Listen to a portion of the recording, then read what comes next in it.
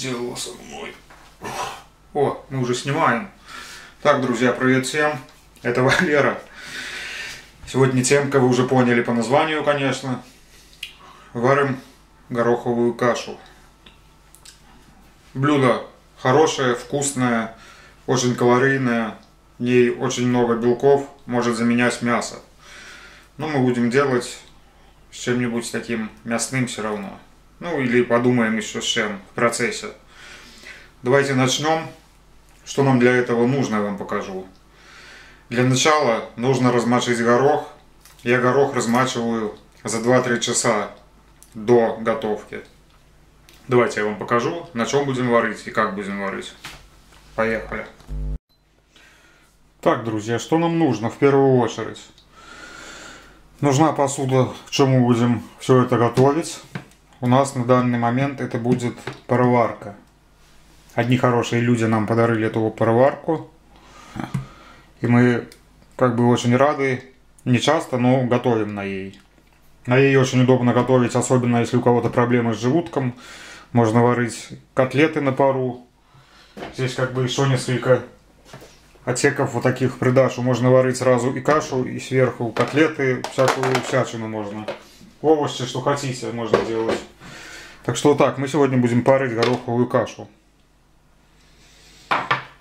Очень хор хорошая посуда, каша не прогорит, не сгорит, ничего. Просто будет париться. Так, нужен горох и вода нам на данный момент. Если кто-то не знает, что горох разбухает в три раза. Поэтому будем готовить один к одному. Если гороха, например, стакан, то надо 3 стакана воды. Это для тех, кто не знает. Горох я замачивал заранее. Замачивал за 3-2 часа где-то до готовки. Некоторые, чтобы его не замачивать, просто добавляют соду. Но я не люблю добавлять соду, по мне лучше все это заранее замочить. Все, и чуть-чуть вот так заливаем. Все. Все, что требуется. Также в кастрюле.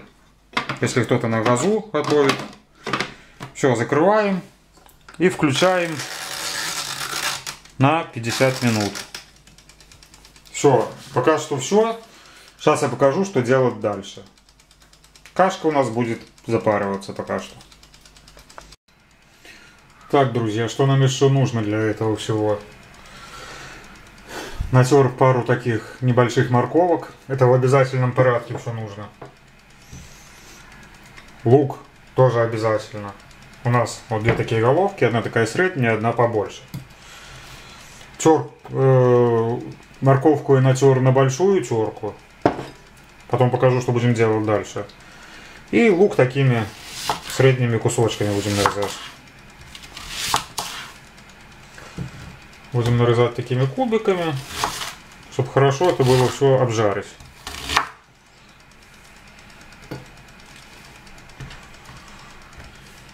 Все это будем обжаривать, потом протушивать. В общем, я покажу, что делать. Примерно вот такими кубиками. И надо нарезать. Там они начнут тушиться, станут поменьше. Так что все, делаем дальше. Так, друзья, что делаем дальше?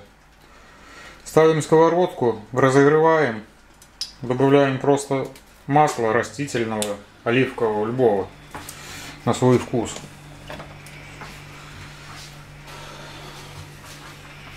Сейчас она чуть-чуть нагреется.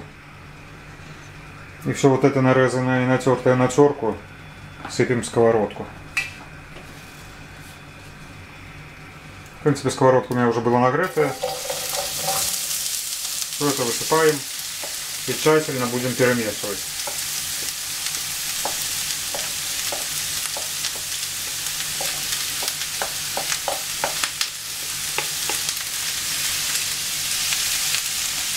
Зажариваем это все до золотистой корочки. Как это все получится, я примерно вам покажу. Ну вот, друзья, В принципе, у меня морковка с луком уже готовы. Ну, примерно, чтобы они получились вот такие. Потому что одна часть пойдет у меня на одно блюдо, которое еще будет тушиться. А вторая часть пойдет в кашу под блендер. Это я все покажу. Так что давайте идем дальше. Так, друзья, приготовилась наша каша. Вот такая она на вид, она уже вкусная на вид. Но она еще не посоленная, не перченая. Сейчас мы это все будем добавлять. Так, как я сказал, все это на свой вкус добавляем. Добавляем на свой вкус соль, специи, любые приправы. Какие вам угодно и какие вам нравятся по вкусу. Так что все, я свои приправы выбрал и добавляю их прямо сюда, уже в сваренную кашу. Добавляю. Добавляю еще что. Добавляю лук, морковку, которую мы с вами тоже приготовили. Добавляем все сюда.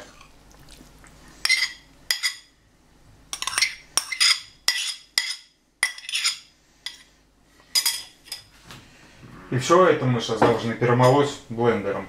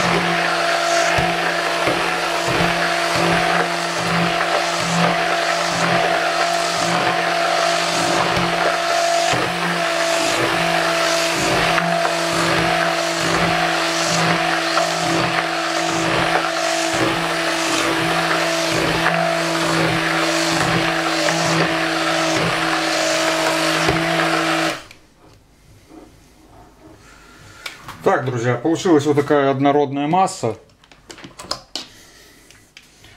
Как бы оно пока и готово. Сейчас я буду показывать, что делать дальше. Друзья, вы просто посмотрите, какая получилась красота. Гороховую кашу мы украсили зеленью, добавили две помидорки. И печень у нас просто красивая и очень вкусная на запах. И сейчас будем пробовать на вкус. Так, друзья, получилась ну вот такая вот неописуемая просто красота. И на вкус она очень приятная. И очень вкусная на запах. Я уже попробовал, конечно, и того, и сего. Ну, сейчас я чуть-чуть, наверное, поем с вами. Ммм.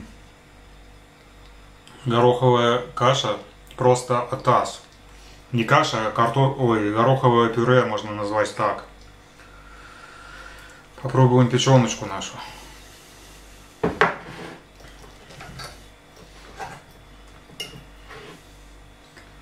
Наша печеночка напоминает свиную, как я уже говорил.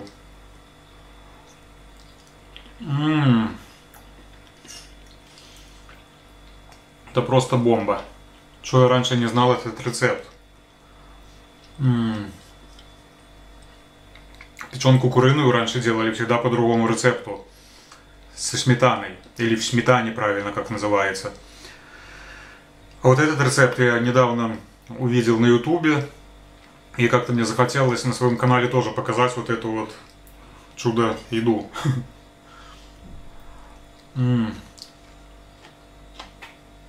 Или чудо-горячее блюдо, как называть правильно. Может быть как и обед, так и ужин. Просто бомба. М Ко всему этому маринованные домашние помидорки. В общем, друзья, такая красота. Не ленитесь сделать. Очень вкусно получается. Я, наверное, буду продолжать кушать. А вам желаю приятного просмотра, приятного аппетита, просмотра, может, приятного следующего видео какого-то. Так что заходите, ставьте лайки, поддерживайте канал. Всем добра.